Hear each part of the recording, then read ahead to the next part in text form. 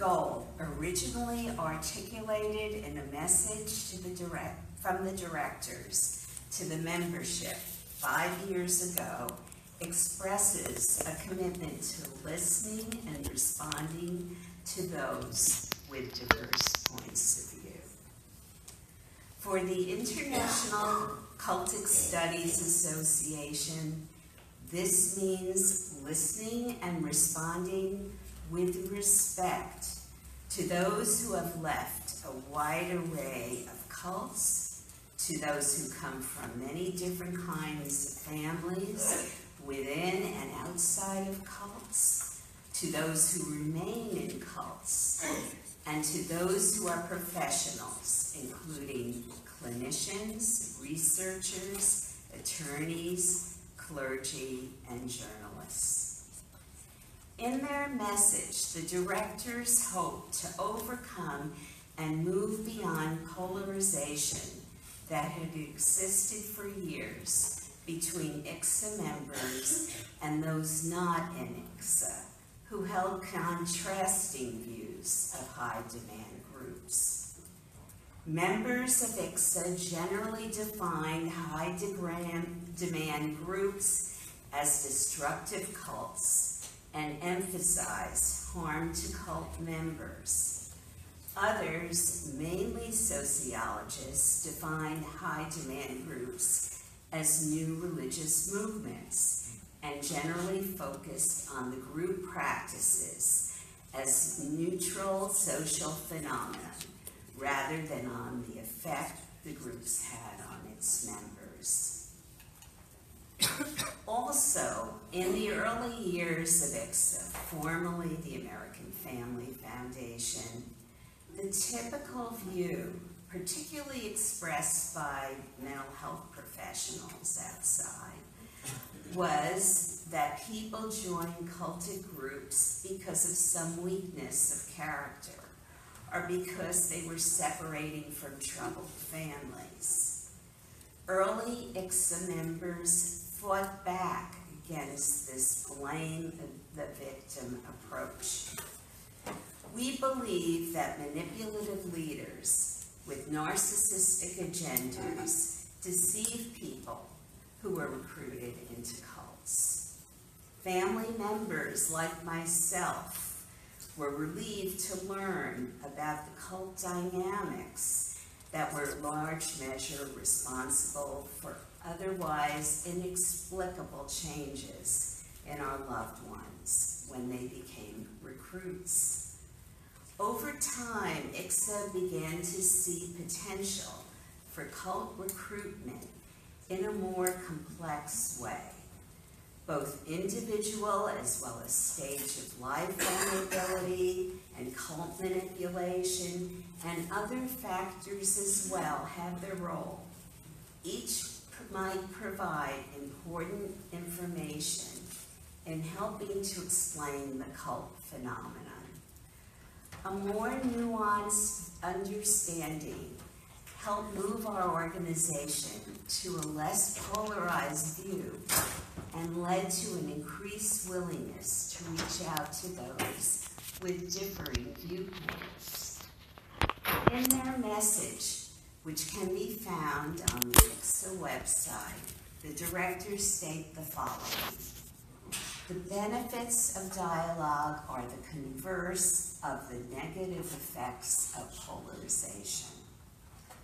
Communication increases knowledge, broadens perspectives, and enhances one capacity to understand and appreciate the complex interpersonal dynamics of people who have left or are still in cultic groups and it might help us better relate to those who have endured. When groups of helpers and researchers with different perspectives and foci have open boundaries, people belonging to those disciplines will feel less pressure to conform and conversely will feel freer to pursue new ideas or innovative approaches to treatment. When one has regular contact to those holding differing views, one is more likely to recognize one's opinions as opinions and not mistakenly treat them as facts. When boundaries between helpers and researchers are open and characterized by much border cross-border traffic, dubious groups or dubious individuals within groups cannot so easily exploit the situation. I agree with this message, which has value not only for our organization, but also for the wider world. I believe in general that conflict can be a healthy phenomenon and dealing with it can help each of us gain new insight into others as well as ourselves. However, ICSA also believes in the free choice and safety of our members. Today, I am talking about dialogue. I am not talking about subjecting yourself to a person whose goal is to manipulate or intimidate you. Nothing I will say today is meant to encourage you to permit yourself to be exploited or bullied. Although ICSA sees the value in being able to engage respectfully in dialogue with people who have different perspectives, we also recognize that some views of our people attempt to violate the human rights and dignity of others. In these cases, it is wise for us not to engage. ICSA conferences provide an open arena for people from different backgrounds with diverse points of view. At our conference, opinions expressed by those who are speakers do not necessarily reflect the views of ICSA or its directors, staff, uh, advisors, or supporters. Today we can celebrate the fact that conference attendees see the issue of psychological manipulation and abuse in cults in differing ways. The philosophy articulated by its directors that being part of the ICSA community will involve disagreements over perceptions, beliefs, and goals, not only with people outside ICSA, but also within our own organization. Over the years, the population of ICSA has changed dramatically. Growing numbers of people born and raised in cults have entered our network. At the same time, ICSA has welcomed the increased numbers of mental health professionals, researchers, clergy, journalists, and attorneys who are interested in cultic issues. Each of these groups has emerged to articulate their own particular perspective, beliefs, and goals. How do we deal with this new reality? How do we ensure that each population respects the others and is respected itself? In today's presentation, I will consider some factors that undermine dialogue and I will suggest some ideas that might help us connect our black and white world. As a psychoanalyst, my perspective is that unconscious as well as conscious factors always at, are at play in our interaction with others, and that these factors can undermine dialogue. For example, when I was asked to give this plenary, I became aware of a certain degree of anxiety about your reaction to my presentation. I allowed myself to consider what might be underlying my anxiety. I began to understand that I imagined you would have a critical reaction. To comfort myself, I challenged my black and white emotional thinking with self reflection gained from years of my own therapy and from the use of self analysis that has been central tool to my work as a therapist. Moving from an emotional to a self reflective state allowed me to calm down, and I had the following thoughts. First, even if many of you respond critically, in contrast to situations in my early life, today I'm pretty good about accepting criticism. So it was unlikely that I would be crushed by your reaction. Second, although some of you might take issue with some of my ideas, Others might possibly have a positive reaction to some of what I say. Third, my self esteem would increase simply if I took the uncomfortable action of presenting rather than declining to speak. These thoughts move me from an emotional state to self reflection and help me shift from viewing myself as the potential victim of your crushing reaction to a more balanced and hopefully realistic view. In light of this, I began to consider Jessica Benjamin's concept of the third. Benjamin suggests that too often we divide our emotional world between feeling like a victim who is done to or the victimizer who is the doer. We are stuck in right, wrong, dominant, submissive, binary thinking. We see this kind of thinking today in world leaders who would negotiate as if everything is a zero sum game. Their attitude is if you win, I lose. The only way to go up is for others to go down.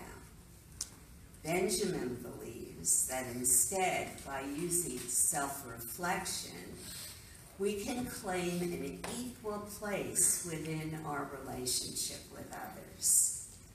Instead of a divided way of seeing the world, we can approach new situations in such a way that everyone has the possibility of gaining something from the experience. Earlier, I talked about my anxiety when I first considered giving this plenary address. In psychoanalytic terms, in making an assumption about the audience's reactions, I was experiencing a transference reaction transference expectation.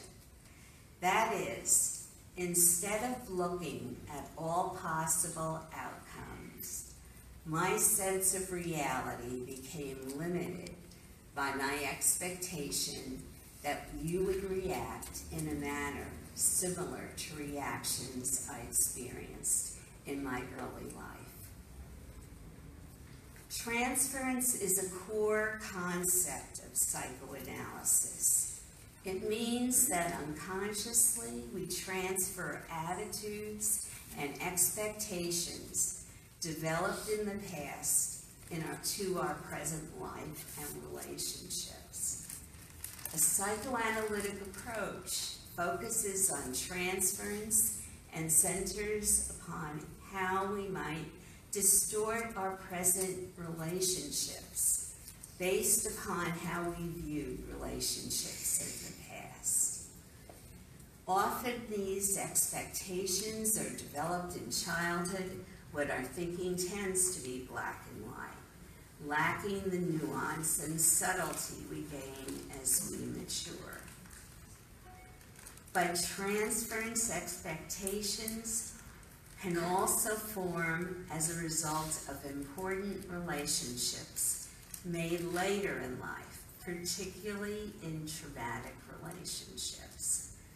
Transference also can lead us to possibly mishearing or misunderstanding each other, and this misperception can undermine successful communication. This happens because our past constantly reshape how we view our present. Former cult members may have an expectation, both conscious and unconscious, that new relationships will repeat the victim-victimizer dynamics that occurred in the cult. However, as you can see by my example, you don't have to be a former member of a cult to have these particular expectations. While some individuals here, including myself, never were in a cult, as anxious humans, we all are vulnerable to regress into black and white thinking of childhood that cults intensify. With transference expectations, we can make assumptions and fill in the gaps in what we know about who people are and what they are thinking. This limits our ability to see others as we are not seeing the real person before us, an individual with strengths and flaws. Likewise, with transference expectations, we limit our ability to see ourselves in a more complex and realistic way. When we contrast ourselves to an idealized cult leader, therapist, or others, we magnify our own shortcomings. Conversely, when we need to protect ourselves, we can become suspicious and expect nothing but bad from others. When we see ourselves and others in a more balanced manner, we can acknowledge our flaws without losing sight of our strengths. So how do we move from a reactive and defensive response that incorporates black and white expectation that either we will be badly treated by a powerful other or will be speaking with an idiot or an arrogant jerk. How do we move from that? How do handle powerful emotions such as dread or anger that might have originated in our early life or in the cult or both? and replace these emotions with a response of thoughtful curiosity. How do we do that? well, Benjamin has the answer. Benjamin suggests that we encounter people mm. with different and even opposing views from ours. We need to recognize our own participation in this conflict, and this will allow us to negotiate our differences and to connect. In other words, if we pause, taking a breath, and gives ourselves the time to consider that we might be having a transference reaction such as in the readiness to see ourselves as victims in an experience. We can begin to see alternative ways of looking at a situation. This recognition might allow us to feel less avoidant or hopeless about a potential interaction. We can view self-reflection as a process that provides us with the mental space for thinking things through. I can use my own self-reflection and internal conversation as a stepping stone to figure out how I can best see the situation more realistically to converse with others without being defensive. After years of personal therapy, I sometimes can take the step. However, I very often slip and stay immersed in emotion. This is a hard thing to do. I know that I'm not the only one who struggles with this issue.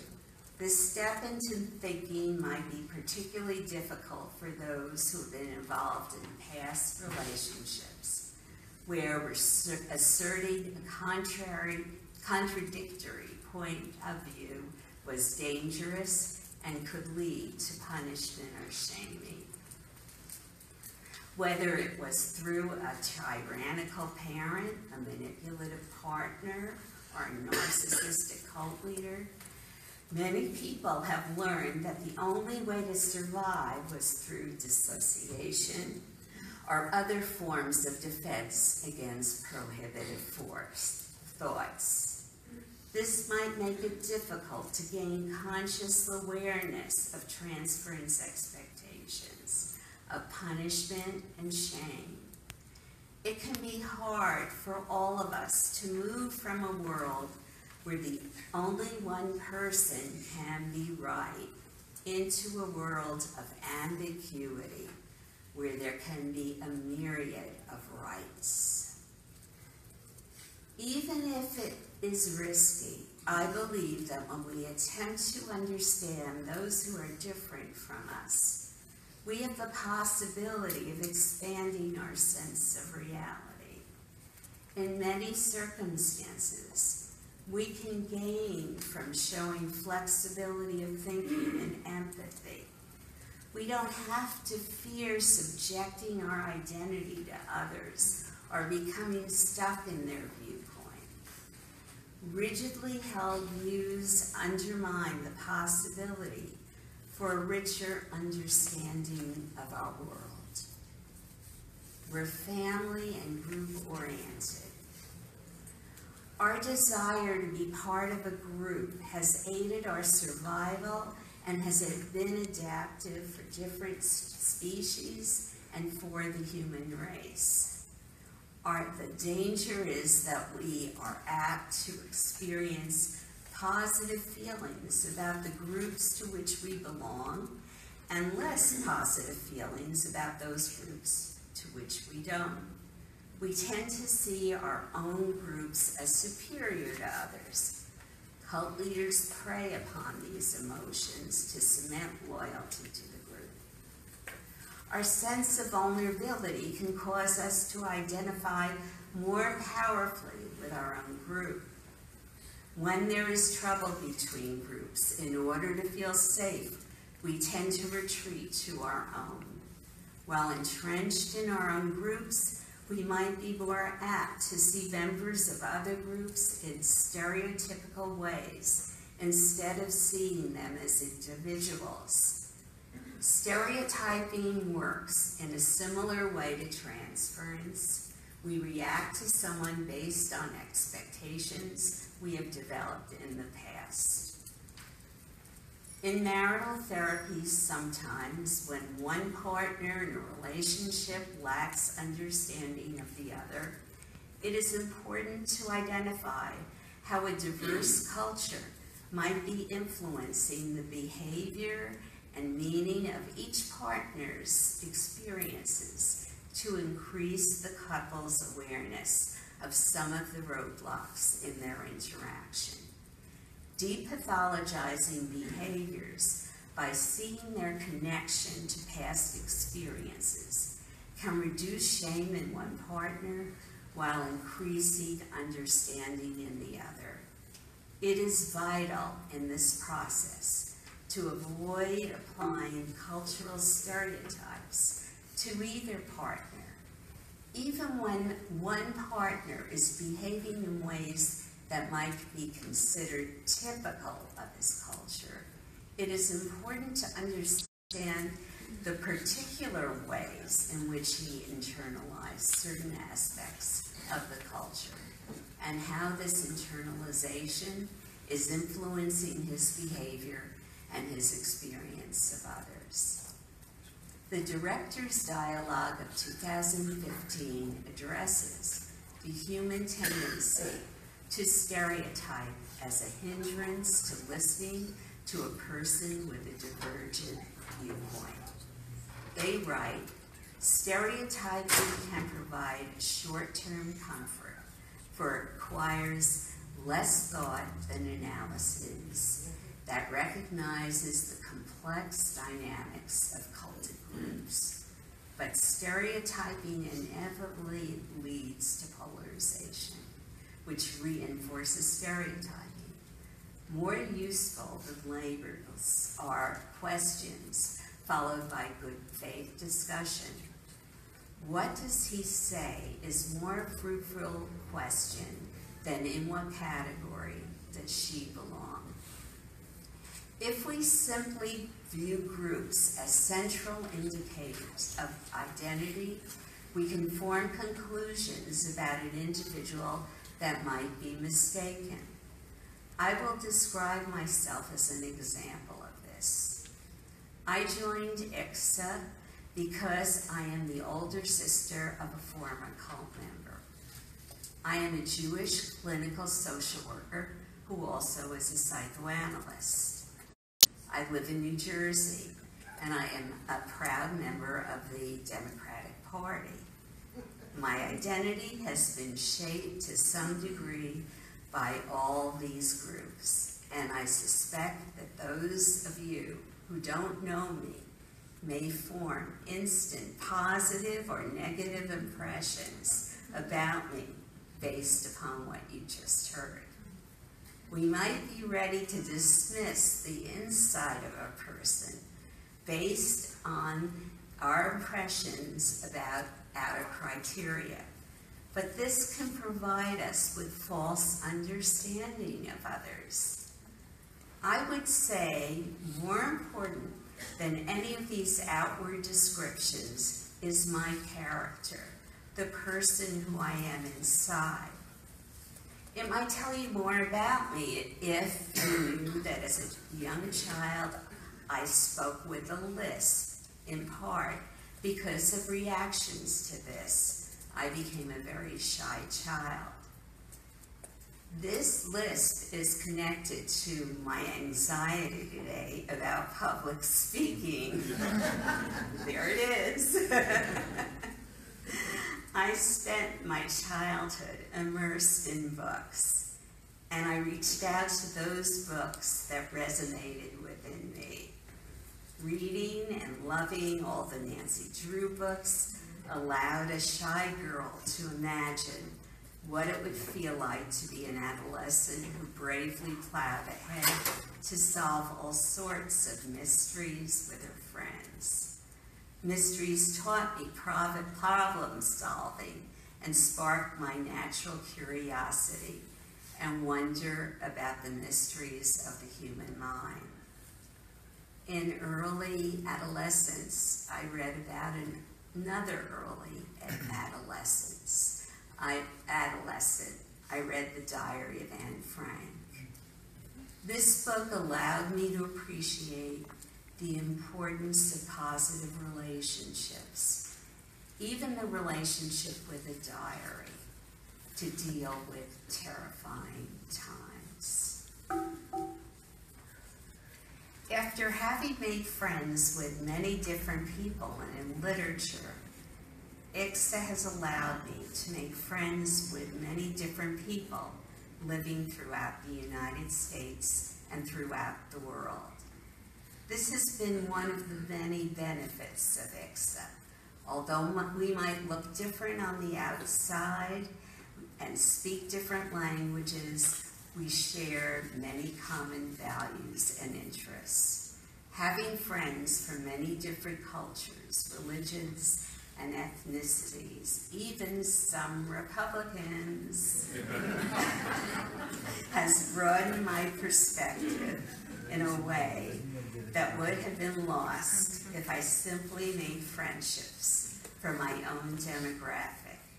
Encountering diversity has allowed me to see myself in others. I believe that the ICSA community offers the opposite of ethnocentrism. While this is a time of increasing ethnocentrism in the world, we might consider that instead of using cultural differences simply as a tool to dehumanize and claim superiority over others, exploration of cultural differences can be a starting point for gaining insight into our own biases and inner beliefs. An example of dialogue between subgroups. As many of you know, my husband Bill and I have facilitated a support group for former cult members at our home for 40, over 40 years. In the last years, our support group members have included many people born and raised in cult groups, as well as former cultists who became parents in cult groups. Initially, transference attitudes initiated strong unspoken emotions between these two groups. Two of the cult parents who expected to be blamed the, uh, by the other group members for cult treatment of children described feelings of shame, guilt, despair, and regret for harm to their children while in. Those born and raised in cults who previously had the cult, the transference expectation that the cult parents would minimize cult harm, instead began to feel empathy for the cult parents. This discussion helped former cult member parents deal with their feelings of shame, and former members born into cults deal with their feelings of anger. Things aren't always as we perceive them to be. It takes time to understand another person, and we have to resist thinking we know when we actually are in the process of learning. I need to remind myself that if I say, she's a typical mental health professional, researcher, attorney, or clergy, cleric, I am dehumanizing and stereotyping the person before me, even if I say it with affection. If I theorize about a cult person or situation too quickly, I am using a shorthand method and may be missing the boat.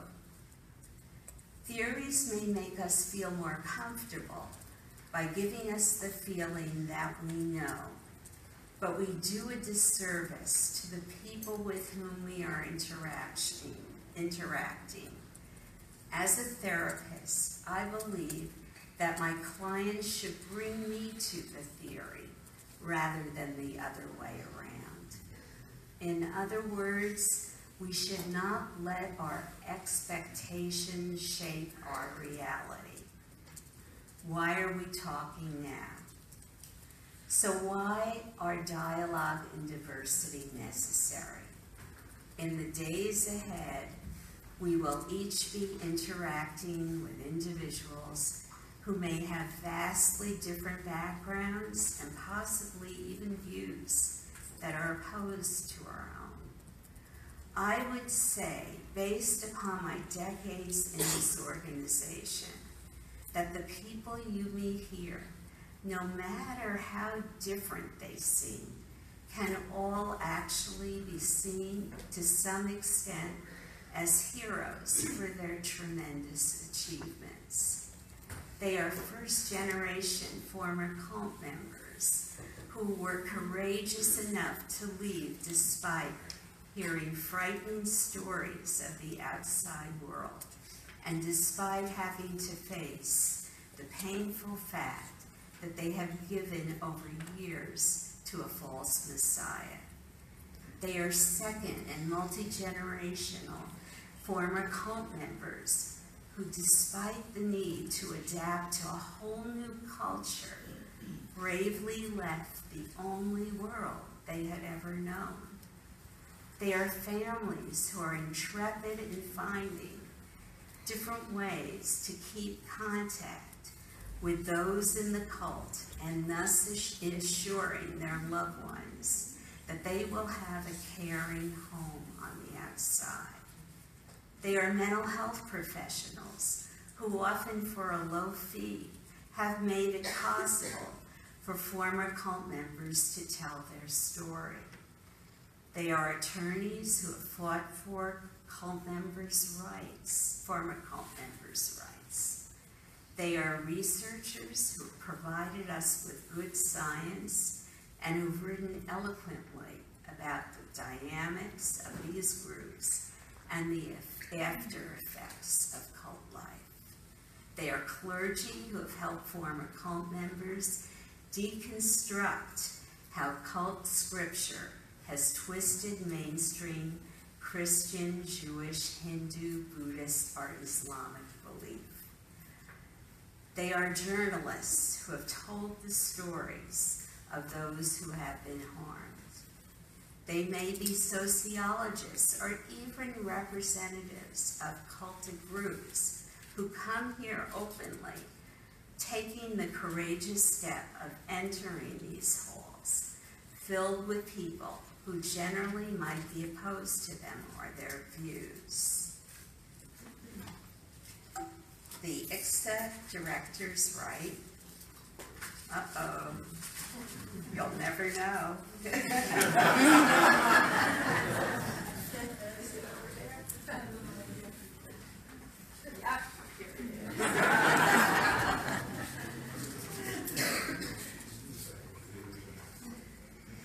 Dialogue is premised on humility.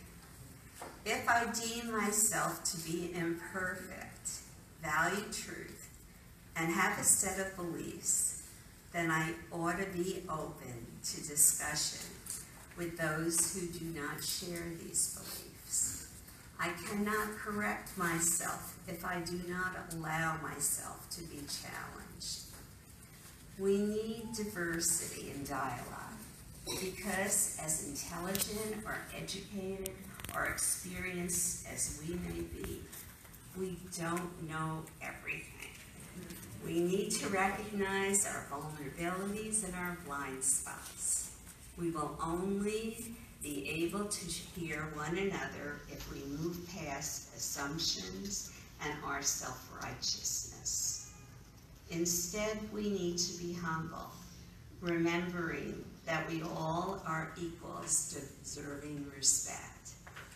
Let's remember that the person who might have just said something that appears to be offensive or ridiculous might be opening the door into a new way of seeing the world. Thank you.